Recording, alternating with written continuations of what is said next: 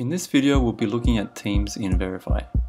Teams are particularly useful for companies that have employees or contract workers that either make company expenses or need to track their time against projects.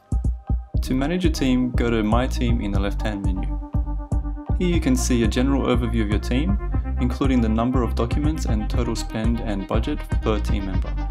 Note that these figures are only for the current calendar month. To invite a new team member to Veryfi, start by clicking this Add Team Member button. The email address that you enter here is going to be the login email for this team member. It's also where they will receive their invitation email.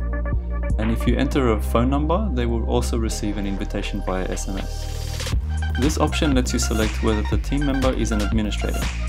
Admins have the ability to view and update the entire team's data, they can also approve expenses and timesheet entries and set certain company policies like monthly team budgets, what categories are available to each team member, and whether non-admins can update their own categories and tags.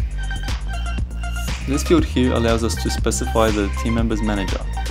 Managers have the ability to view and update their own data, as well as the documents and timesheets of the team members that report to them. All other team members can only see and manage their own data. At the bottom of this form is the product selection section.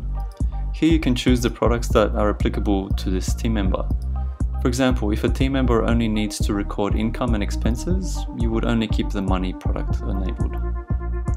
There are two things I'd like to mention about products here. The first is that when a product is enabled for a team member, all admins will automatically have the product enabled as well, so that they can access the product's data for this team member. The second thing I wanted to mention is that team members can use their one account across all of Veryfi's products. So if we were to turn on the money and timesheets product for this team member, they would be able to use their account to sign into the online Veryfi Hub uh, and also the iOS and Android versions of both the expenses and timesheets apps. Once we have our team set up, there's a few more things we can do on this page. Let's start by looking at the team budget calendar.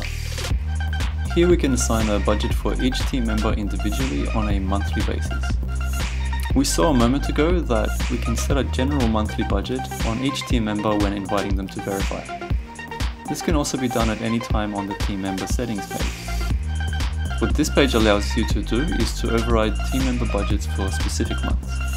Next, we have the team categories section. This allows us to limit the list of categories that are available to each team member. This is particularly useful if your team members only ever record activity against a subset of your company's categories. There are a few more things we can do with our team members here.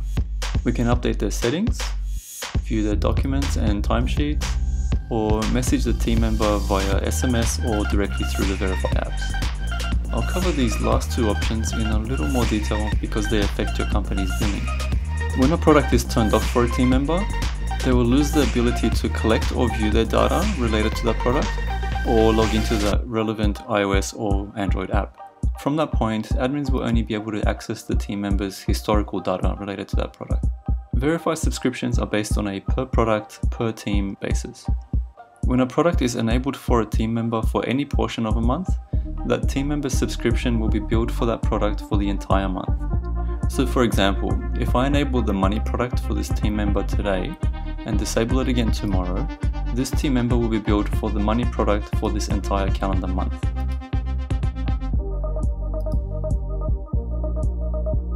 The next option here allows us to deactivate a team member. When a team member is deactivated, they can no longer access their Veryfi account at all, although the company admins will still be able to view and edit the team member's historical data. If that team member requires access to Veryfi again later on, uh, their account can be reactivated and they'll be able to resume using Veryfi in the same way as they could before their account was deactivated. All their existing data will still remain in Veryfi.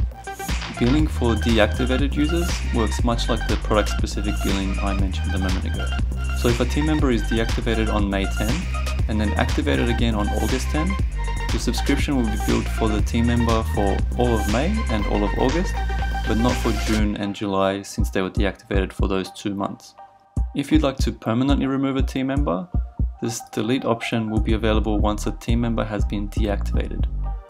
When a team member is deleted, their account is completely wiped and their data can never be restored. So please be 100% sure before using this option as there's no turning back. that just about covers Teams in Veryfi. If you have any questions, comments or feedback, please reach out to us at support at veryfi.com.